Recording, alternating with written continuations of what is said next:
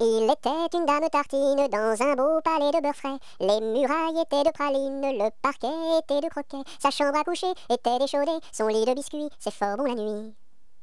Quand elle s'en allait à la ville, elle avait un petit bonnet. Les rubans étaient de pastilles, le fond était de résiné. Sa petite carriole était de croquignole, ses petits chevaux étaient pâtés chauds. Elle épousa Monsieur Gimblette, coiffé d'un beau fromage blanc. Son chapeau était de galette, son habit était vol au vent. Culotte en nougat, gilet de chocolat, bas de caramel et souliers de miel. Leur fille, la belle Charlotte, avait un nez de masse-pain, de superbes dents de compote, des oreilles de craquelin. Je vais la garnir, sa robe de plaisir, avec un rouleau de pâte d'abricot. Le puissant prince limonade, bien frisé, vient lui faire sa cour. Ses longs cheveux de marmelade, ornés de pommes cuites au four. Son royal bandeau de petits gâteaux et de raisins secs, portrait au respect.